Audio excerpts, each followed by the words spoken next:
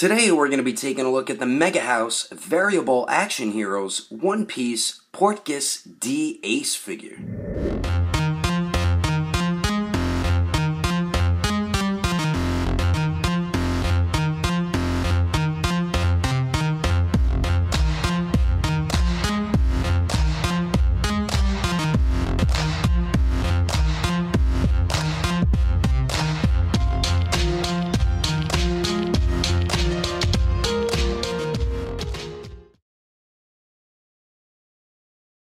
So, what is going on, everybody? How is everyone doing today?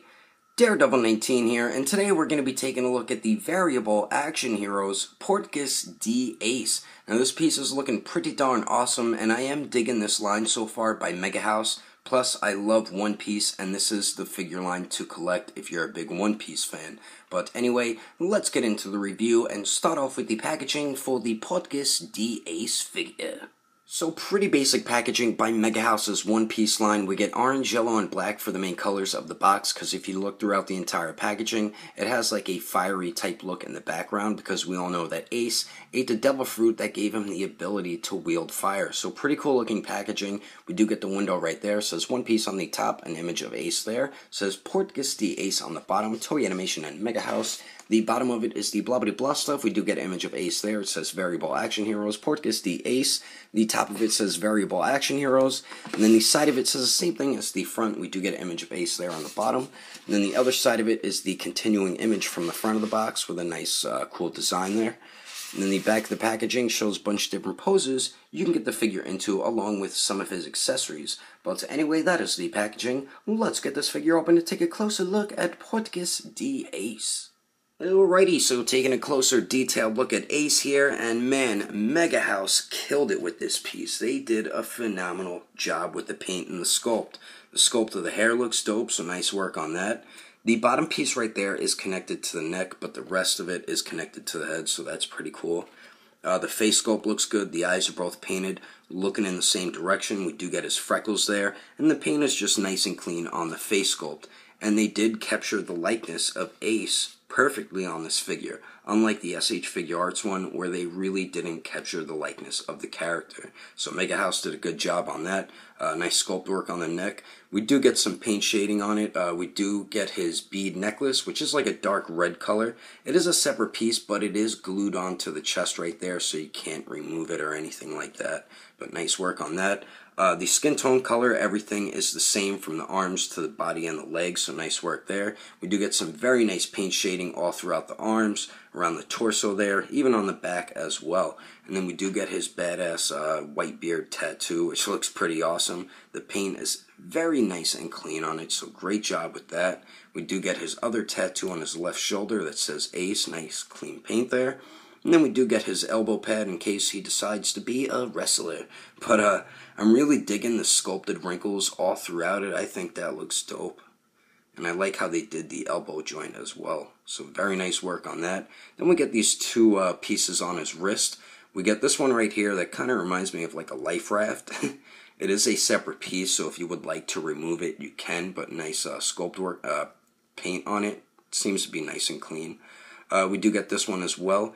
It is a specific compass that you can only use on the Grand Line. I forgot what they're called, but it is a silver color with uh, light blue on the top, and it is connected to the wrist, so you can't remove that one. But a uh, nice job on those two little pieces right there. And then we do get his belt here, which is an orange color. Um, there is a little bit of paint shading right there. Well, it seems like there's a little bit on each part as well, so nice work on that. We get the belt buckle with some red in it, and then the A right there, and then a nice silver color in there as well. Then we do get some silver for the uh, rings right there, where you could uh, buckle up the belt, and then we do get the uh, the belt rings uh, for the black right there on his shorts going around the belt as well. So nice job just on the belt there, and I like how this piece of the belt goes around and then it loops over right there. I think that looks pretty cool. And you can see like the paint shading going in there. I mean, they did, they really did an awesome job with this piece. Now for his shorts, these look awesome. I love all the sculpted wrinkles all throughout it. I mean, that just looks freaking cool as hell. I mean, great job on that. And then the bottom of the shorts is a darker gray color. Looks pretty cool. And then we do get this pouch with the strap going around the left leg. It is a uh, nice blue color. We do get silver for the belt buckle, for the buckle right there, belt buckle. And then we do get uh, silver for the buttons as well. We get some very nice paint shading on the blue on the pouch right here.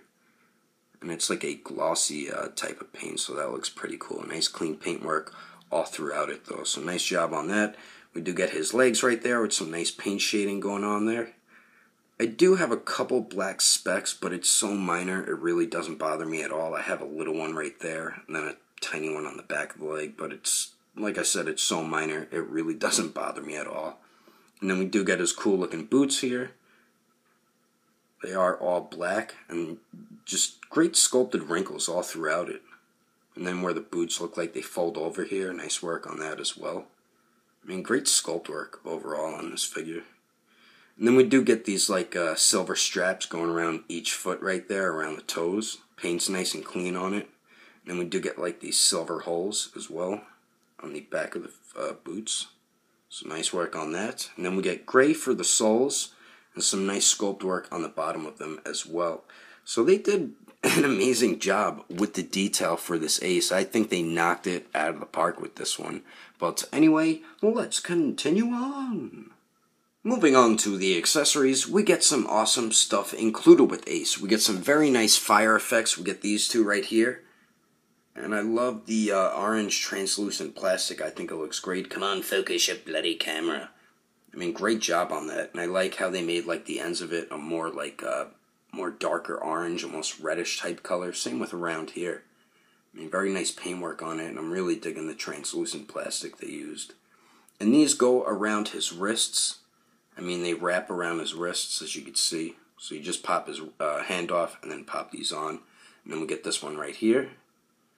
Just as cool looking as the other one, and this one goes around. It could go more up his forearm, because it's a little wider compared to that one. So pretty cool uh, uh, flame effects that we get. And then we also get these flame effects that go on his fingers.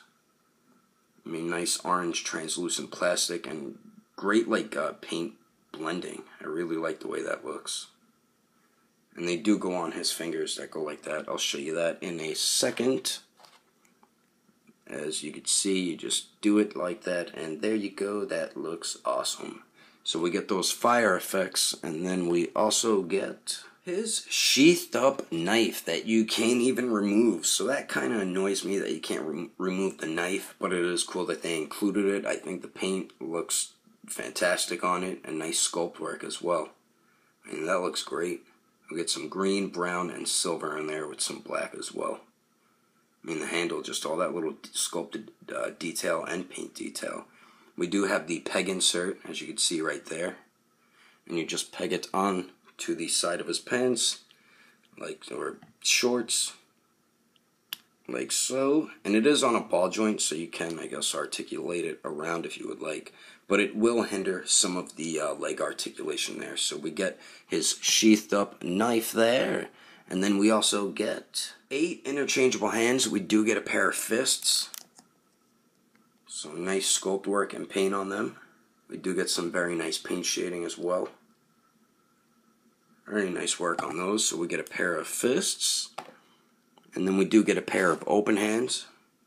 Nice paint and sculpt as well. Can see his uh, sculpted fingernails, so that's pretty cool. Do have a little bit of like paint or something on that pinky, so that's kind of weird. But we get those, and then we get these two like uh, gun pose hands, where you're making a gun sign. And these are for, as I just showed you, for these flame effects right here. I mean, nice sculpt and paint on these, though. So nice work with that. And then we get a pair of pointing finger hands.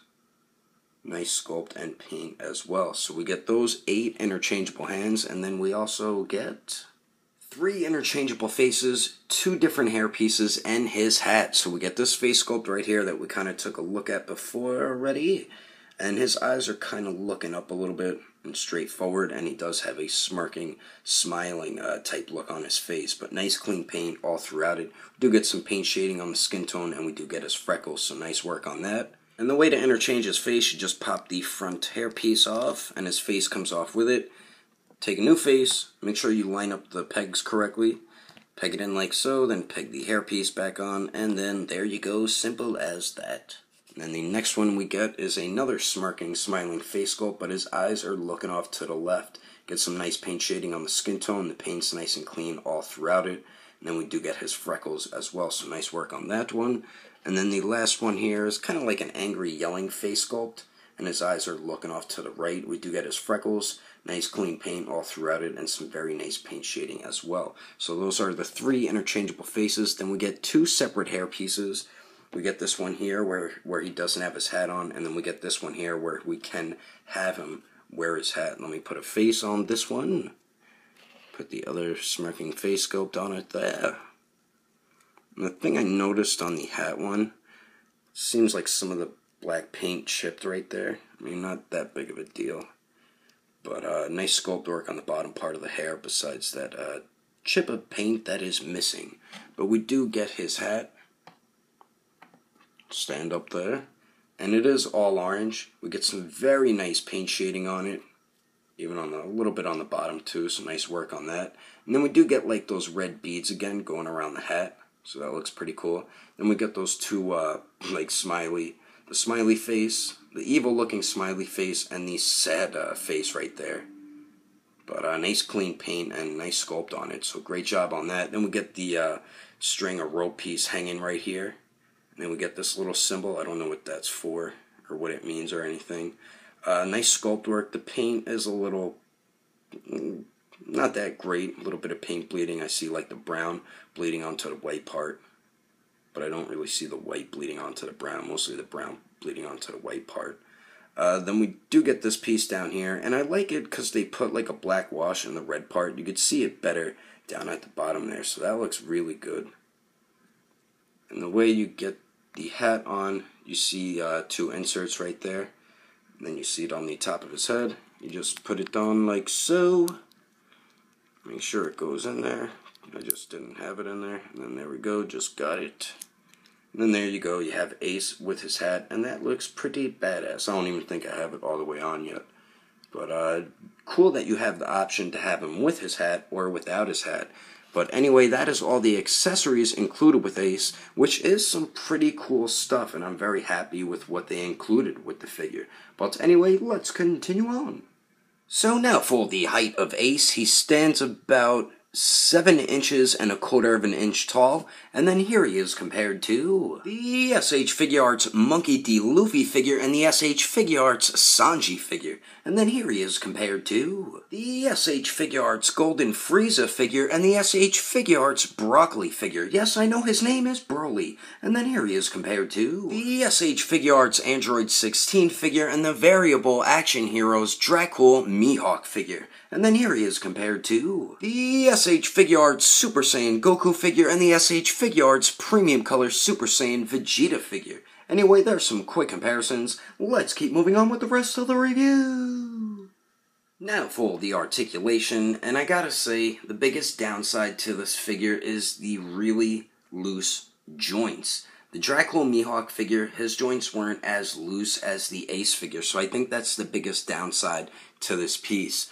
But uh, he does have two points at the neck, one at the upper neck and one at the lower neck. The upper neck joint goes forward and back, does pivot and it does swivel. The lower neck joint goes forward and back, slightly pivots and it does swivel as well. So we get some pretty good movement at the neck joints there. We get three points of articulation around the torso area. So the one under the chest goes forward and back slightly, slightly pivots and it swivels a lot better there.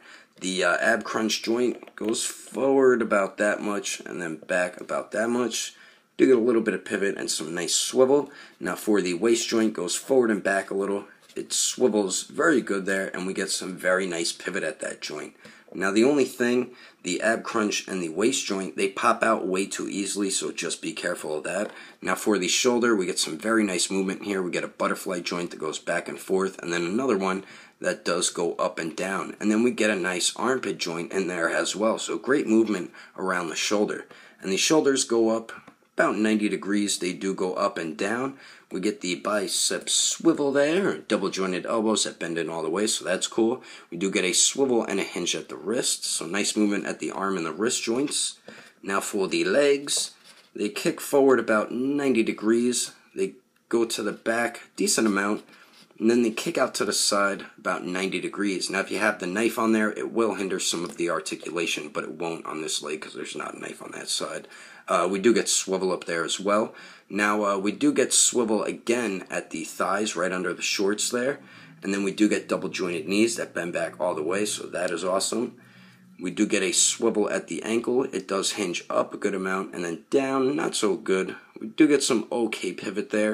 And then we get some toe articulation and then it does rotate a little at the toe as well. So we do get some beautiful movement with this piece. But like I said, the joints are extremely loose with this figure. But other than that, you get some very nice articulation with this ace.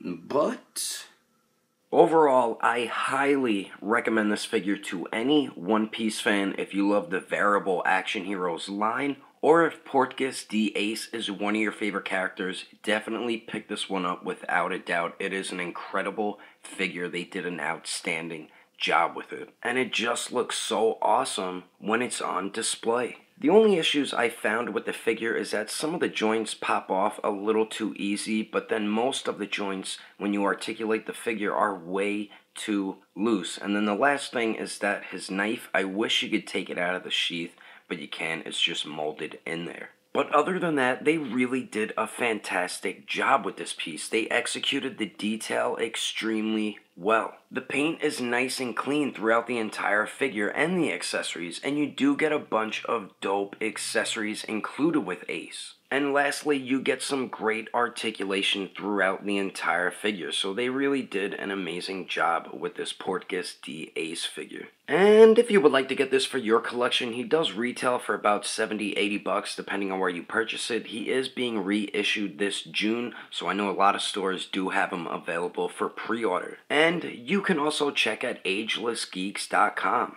But anyway, that is my review of the Variable Action Heroes Portgas D Ace figure. Hope you enjoyed my review. If you want to support the channel, don't forget to subscribe, don't forget to share, and favorite the video too. And if you liked it, give it a thumbs up. If you didn't like it, just give it a thumbs up anyway because action figures are awesome. But thanks for watching. I will see you later. Today we're going to be taking a look at the Mega House Variable Action Heroes One Piece Port D. Shit. Daredevil 19 here, and today we're going to be taking a look at the very blue boo because I love One Piece, and if if if if if if if stuff, we get a picture of Portgas D Ace right there says blah blah blah boos. It says the same thing as the front right there, and we do get an image of the figure as well on the blah blah blah image of Ace right there. It says Portuguese. There's one piece on the top of image Ace. Eh, blah, blah, blah. what the hell? The SH Figuarts Android 16 figure and the Vivido what the heck? And the Variable Action Heroes blah blah blah blah blah. Mega House killed it with this piece. They did an, an, an right here. It is a separate piece. I guess you can remove it if you want to take the hand off and take it off. Damn it, said take it off twice. Son of a bitch.